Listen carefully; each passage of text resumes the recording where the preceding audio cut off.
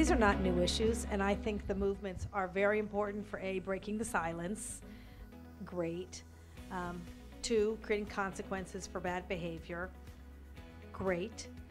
But in my opinion, what we need to do immediately, which is why I've been talking about Time's Up is wonderful, but we need to do it properly, where it's not just the accusatory morning marching, you know, we will set ourselves way back and it won't be unconscious bias, it'll be quite conscious, where, you know, we do have a problem with men wanting to work with women today.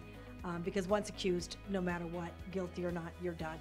Um, so we do need to create the actions moving forward where it's about people are good, men and women. There are some exceptions, but the exception should not become the new rule.